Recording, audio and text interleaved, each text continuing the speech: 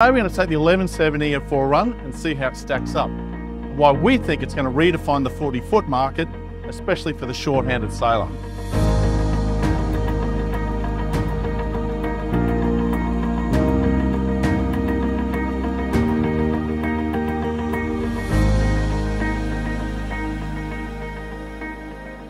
The Seawind 1170 is the second of a brand new generation of design from Seawind with more angular lines, raked bows, flat decks, and a whole lot more buoyancy and volume.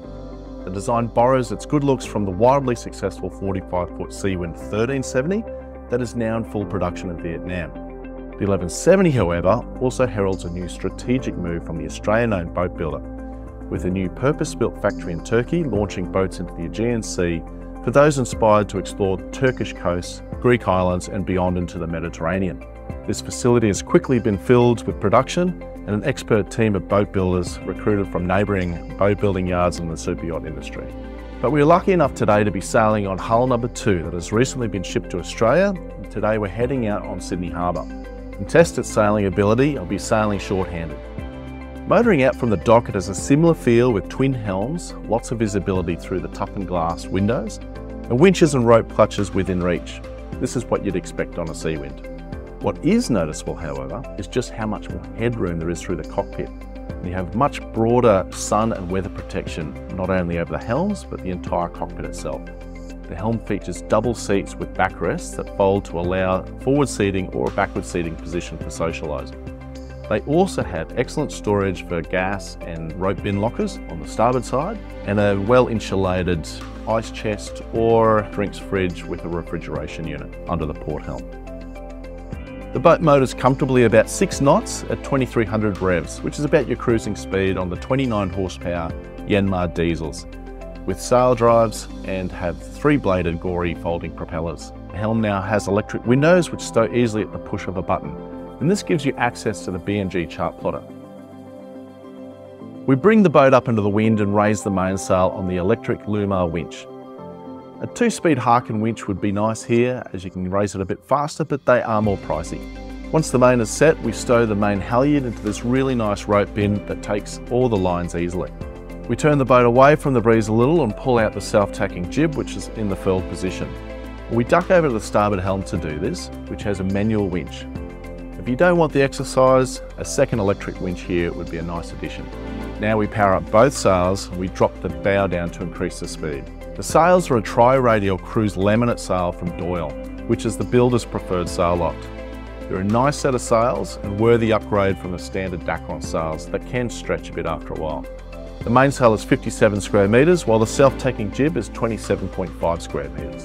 The rig is a whopping 18.8 metres off the water, which is pretty impressive for this boat. It certainly gives the boat plenty of power.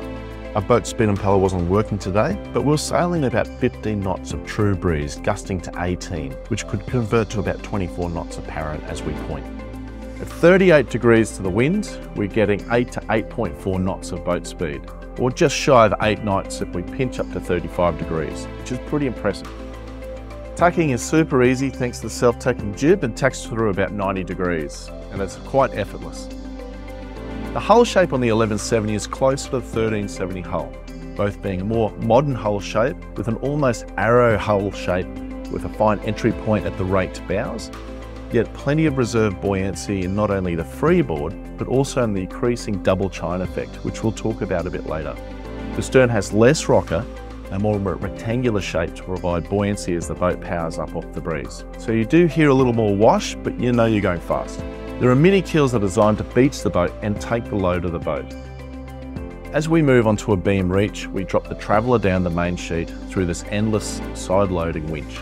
The jib also has a traveller control to open up the slot and use the full width of the self-tacking track. This is all done from the helm. Here we're doing about 8.5 knots at about 90 degrees. So now's a good time to try one of our extra sails. We're going to use the Code Zero, also known as a furling screecher. The Screecher has a 2 to 1 halyard, so you can put some tension through the luff and it helps it furl easier. The Harken Endless Furler has a neat quick release pin to attach the sail onto or off the longeron beam, and that allows you to leave the furler and line set up. So we drop a little bit further off the breeze, release the furler and sheet on. Then we furl in the jib. It's a super fun sail to use and it's about 51 square metres, which is just a bit smaller than the mainsail. So it powers up quite nicely. And now we're doing over 9 knots and the apparent wind has moved forward to about 75 degrees. And this is where the boat really powers up, so we're flying nicely. The beauty of this sail is you can furl it back up once you're finished and leave it furled while you're on the boat. I should also add this is surprisingly easy to handle, to furl in or to sheet. Now it's time for the main event, running the spinnaker. The kite is an asymmetrical kite which runs from this removable carbon bowsprit. It's removable to reduce the overall length from about 41 feet down to 39 feet to help reduce marina fees. The kite is in a sock and allows you to set it up and drop with minimal fuss. We run a bit deeper the kite and we're sitting at over 11 to 11.5 knots of boat speed, but the apparent has shifted about 90 degrees. Pulling up to anchor, we use the electric counter to measure out how much rode from the helm. The locker for the fenders are quite deep on this boat, and the sail locker for the extra sails is voluminous. Inside the sail locker, you can see one of the two water tanks that total up to 500 litres. But if you had a water maker, you might even forego the secondary tank and reduce it down to 300 litres and give you even more storage.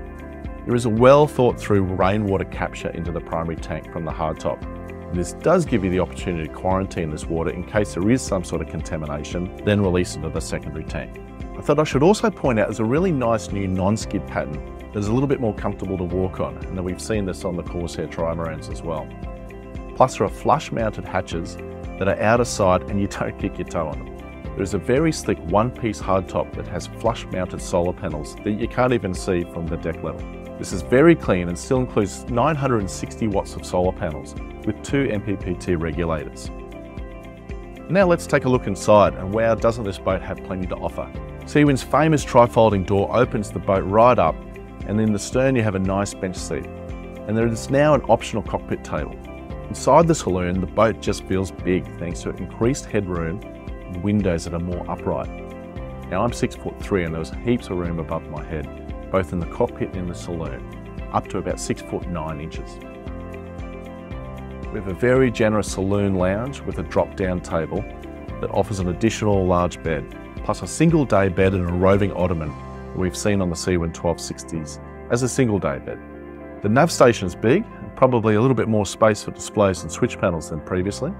The forward opening windows are unbeatable and have been redesigned to allow greater airflow and now more robust struts. There's a 32 inch TV and surround sound stereo. Looking down at the galley and it is very open and spacious. Seriously, you'd have to be on a 45 footer before you get this sort of galley space. The increased hull beam also helps thanks to the double chine at the waterline. So there's more space above the waterline and yet keeping the hull quite efficient. It feels like there's almost an extra foot of space in the beam on each hull on this boat. And the headroom is plentiful, as it is through to the forward cabins. This is a great addition to the model and brings with it more headroom above the beds as well, so you can now sit up and read a book quite comfortably. The starboard side enjoys a large queen bed with ensuite forward and larger than previous double aft cabin, both in width and also height. The port side enjoys a large island queen bed with bedside tables. Deep hanging locker forward with shelves and other storage nooks. Again, you really feel the volume thanks to the flat decks. And the windows are also quite large, provide a nice view. Midships, and we have a large storage locker and with all the electronics and the inverter and chargers stored in the lower section. Aft in the spacious separate shower and electric toilet with bidet sprayer and a sleek glass door makes a very nice bathroom. Behind the shower you have direct access to the 29 horsepower Yanmar diesel motors and sail drives. These are located in the reverse position to conserve space. In summary, the Seawind 1170 takes the 40 foot range into a whole new dimension. You get an incredible combination of compromise between a touch of luxury, yet with very practical and spacious ergonomics, a touch of performance without being too technical, and what feels like a big boat without being too overwhelming. This boat will suit those wanting to live aboard and go cruising around Australia or the Med and beyond will suit the short-handed sailor, a couple, or even a single. If you'd like an information pack on the Seawind 1170, click here. To watch more videos on the Seawind range, click here.